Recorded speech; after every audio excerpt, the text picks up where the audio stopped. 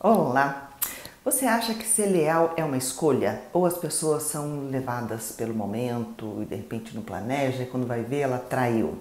Vamos pensar um pouquinho. Uh, dizia Nietzsche que não se promete sentimento, mas você promete os atos, né? Você não promete que você vai amar uma vida inteira uma pessoa mas você promete que você vai ter os atos de amor durante a vida. Você vai dar atenção, você vai lembrar das datas, você vai estar presente, você vai ser carinhoso. Isso você pode prometer. Teus atos, teu comportamento, você é dono dele. Então você pode administrar, você pode decidir que comportamento você vai ter. Mas o sentimento não. O sentimento brota, o sentimento vem de dentro. E aí a gente pensa, né? Como é que uma pessoa casa com a outra e promete amar uma vida inteira?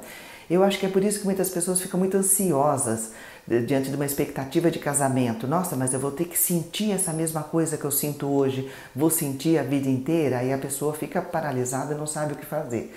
Mas é, a pessoa que tem dentro dela de que ela vai ter o comportamento de amor, ela vai ser leal, ela vai estar presente, ela vai, ela quer isso, ela quer essa rotina de carinho, de atenção, para ela é muito mais tranquilo prometer uma vida num casamento, porque é isso que importa para ela.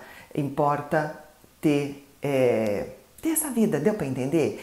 É, mesmo que não tenha um sentimento, mesmo que o sentimento vá mudando, porque gente, o sentimento vai mudando, né? A gente hoje está loucamente apaixonado, amanhã a gente está morrendo de raiva de uma coisa que a pessoa fez, depois o sentimento volta, enfim, conforme o que o que é, é, move o sentimento da pessoa é uma quantidade de variáveis muito grande, desde as referências que ela teve ao longo da vida, de situações de pessoas, até essa situação com essa pessoa, coisas, outras coisas vão acontecendo na vida dela, vai modificando o, o foco da vida dela, então vai mudando. É muita coisa que envolve o sentimento.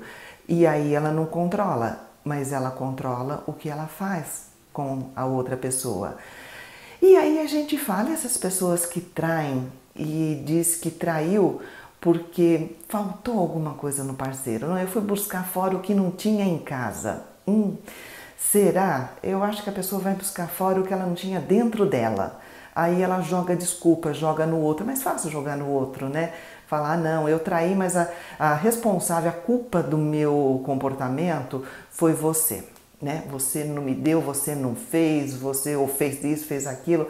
Não, né? O teu sentimento pode ter mudado por conta dessa pessoa, mas o teu ato, a tua traição foi uma decisão sua, né? É, é, é cruel, né? Colocar a responsabilidade e falar assim, ah, vou buscar na rua que não tem em casa. É cruel falar isso, porque está colocando a outra pessoa com com medo, né? Ela vai passar uma vida na expectativa de o que você precisa, o que eu tenho que fazer, o que, que eu tô dando atenção, tô oferecendo tudo que você precisa para você não me trair. Pensa na maldade, né? Que é uma vida que não vale muito a pena ser vivida.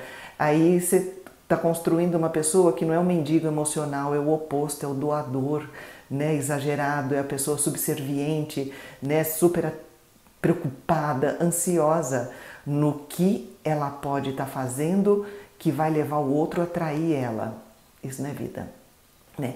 A gente precisa entender que tem escolha assim, dizer que não planejou, que foi levado pelo momento, é uma forma de não não assumir a responsabilidade, né, da dor que causou no outro, porque sempre causa uma dor na outra pessoa, né? E as pessoas elas acabam se enganando. Tem até uma falta de empatia.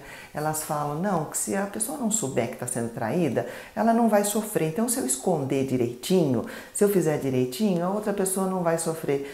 Só que outra pessoa sempre percebe, sempre tem alguma coisa, muda gesto, muda postura, muda tom de voz, muda sua rotina de horário, muda alguma coisa e tem que ficar escondendo alguma coisa que faz. É, em, em alguma entrelinha, em algum subtexto, acaba aparecendo e acaba deixando a outra pessoa é, sofrendo nessa situação. Então é falta de empatia botar a outra pessoa na, na, na, nessa dor, né? É, e a pessoa acaba, o seu sentimento muda, não adianta falar, ah, eu gosto de duas ao mesmo tempo, duas pessoas. A pessoa acaba comparando duas pessoas, cobrando de uma uma vantagem, né? vantagem, sei lá, que a outra oferece, né? E fica oferecendo, fica dando desculpa para ausência, ou ausência de corpo, ou ausência de espírito. E a, acaba se percebendo tão. Então a pessoa ela escolheu ter uma vida dupla. E se ela escolheu ter a vida dupla, ela pode escolher tomar uma decisão, né? E essa sensação de que não, não consegue escolher, na verdade, está dizendo é que é uma escolha difícil para ela, né? A pessoa ela escolhe não escolher para não lidar com essa dificuldade. Então eu escolho, né, ficar na mesma, fazer a minha vida dupla e aí eu não lido com com a dor, com a dificuldade minha, né, de falar, de chegar para uma, tomar uma decisão, se for o caso, né, tomar uma decisão, chegar e falar e lidar com a frustração da outra pessoa. Pode ser uma coisa muito difícil. Eu assim, ah, não, eu não quero lidar com a frustração dela, de eu chegar para ela e falar que eu não quero mais. Ou a pessoa não quer abrir mão, ela quer ter o melhor dos dois mundos, ela quer, né? E aí é bastante complicado porque lidar com a, com a própria frustração, lidar com a frustração toda, faz parte da vida, né? A vida é feita de escolha, de escolha difícil. E então, por isso que é importante a pessoa descobrir o que está faltando nela, né? Não jogar a culpa de que faltou no outro, por isso que ela foi procurar fora, e tomar essa responsabilidade de olhar para dentro dela mesma para ela conseguir ter uma vida harmoniosa e feliz, tanto com ela mesma como com a pessoa que está com ela.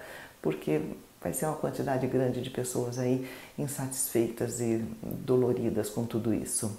Pensa nisso, muitas vezes sozinha a pessoa não consegue se olhar, se entender, aí às vezes é o psicólogo que faz esse trabalho dessa análise de né, o que, que significa tudo isso que você está fazendo e qual é o melhor caminho daqui para frente. Pensa nisso, obrigada por me ouvir.